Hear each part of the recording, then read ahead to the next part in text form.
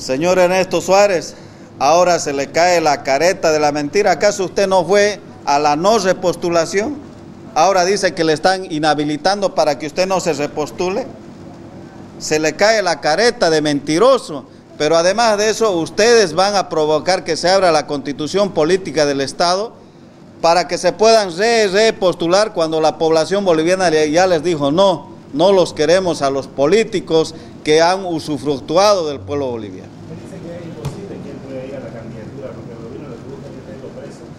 Bueno, eso es su teoría, lo mismo dice el señor Costa, lo mismo dice Revilla, cuando eh, en el tema de Ernesto Suárez es que alquiló con sobreprecio la avioneta. Y por lo tanto, nada tenemos que ver nosotros en esas investigaciones. Él tiene que demostrar si cree que es inocente ante la justicia, ante el Ministerio Público. ¿Aún ha sido notificado? Si se espera que la próxima pueda ser notificado? Bueno, por eso antes de que sea notificado empiezan a hacerse a las víctimas.